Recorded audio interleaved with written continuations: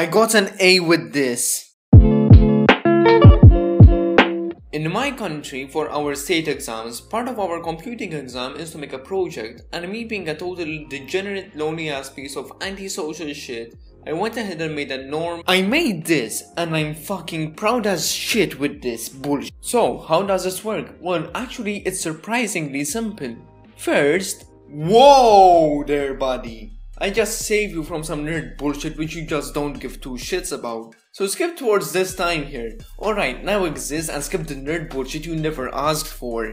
I load the DVD texture from the disk and once that is loaded we make a window and add a DVD component. The main method then starts a game loop at 30 FPS, which then goes and calls the DVD component's update method. Now in the DVD component, I store a pair of shorts representing the current direction of the DVD texture, and when it hits a corner I change the directions appropriately, and also change the current color. When we draw the components, we clear the components to black and then draw the DVD texture at its current position and we also store its position and speed and I had to include the speed which you can change with page up and down or the scroll wheel. Input was a requirement though and this is what makes a little bit of sense as input to me in this project. Okay so now that the nerd bullshit is over we can go over the documentation because documentation is a part of the exam and it's not good. They want you to attach the code to a paper a physical paper. So what did I do to make their life a bit easier? I added syntax highlighting because why the fuck?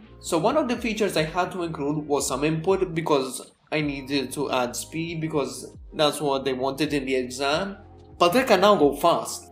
Now a part of this exam's grade was a paper. On it I had to attach a bunch of screenshots and say why I gave it features.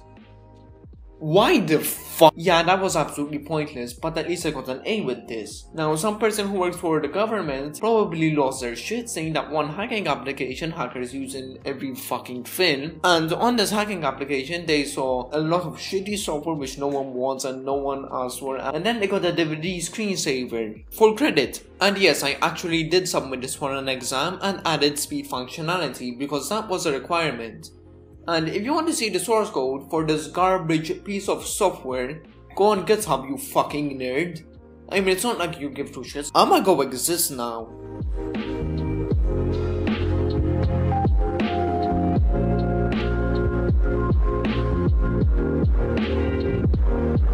Yeah.